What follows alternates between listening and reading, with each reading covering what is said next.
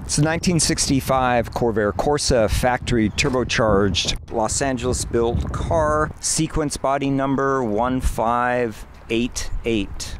During the restoration of the car, the complete underbody was detailed, all new suspension, transaxle rebuilt, drum brakes all around, aftermarket quick steering arms. Tires front and rear are 225 50 15s on American Racing Mags. Front shocks are Konis, Rear shocks are KYBs. The wheel well trim is 66 and later. The bumpers were re-chromed. Other bright work was polished and redone. All new emblems during restoration. The interior was redone, seats reupholstered, door panels are in great shape, headliner excellent. All gauges work. The factory clock was converted to a quartz movement. The factory boost vacuum gauge has been replaced with an AutoMeter boost gauge. Two auxiliary gauges below the ashtray, volts, and oil temperature. AM radio.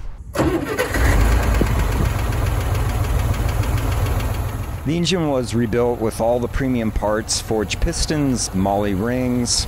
It's got a Clark's aluminum oil pan. Valve covers are stock stamped steel. The rotating assembly is balanced. The heavy duty pressure plate, bolted flywheel, good clutch. Clutch works very nicely.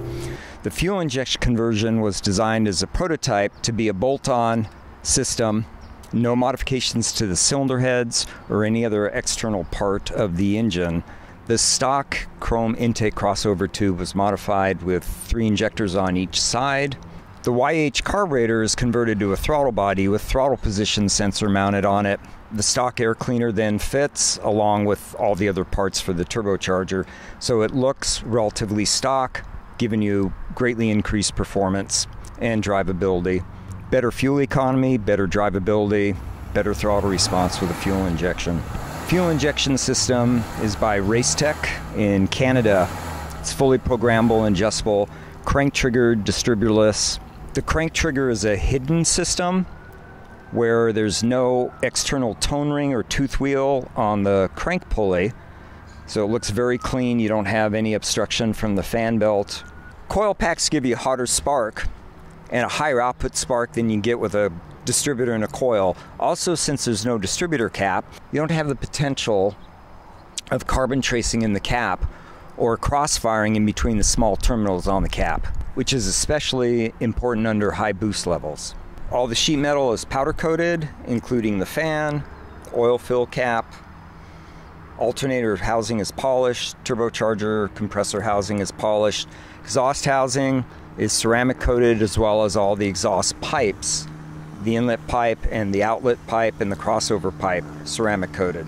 Fuel delivery is afforded by the in-tank fuel pump. The tank was modified with a full-length baffle pump sits on the bottom of the baffle, minimizes fuel slosh in hard corners and aggressive driving.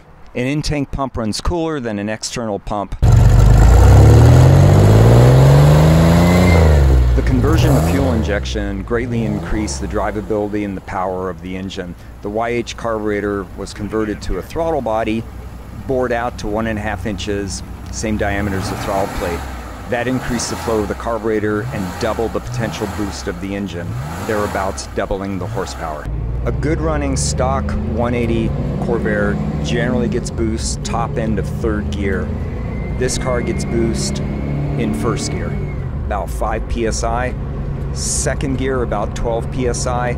Third gear, up to 15 psi. You're in second? So it's idling at, and it's, it's moving foot off the throttle. And then just a little bit on the throttle. A little pain, but just how smooth that is. Yeah. Couldn't do that with a carburetor. Nope. Drivability is greatly improved. You can lug the engine down at 1000 RPM in fourth gear and accelerate smoothly all the way up to redline. There's no hesitation, no shuddering. Cold starts and hot restarts are not an issue. Unlike the stock YH, which is prone to fuel boiling during hot resoak, the fuel injection doesn't have any of those issues. This fuel injection conversion was done approximately eight years ago and has been running flawlessly since the install.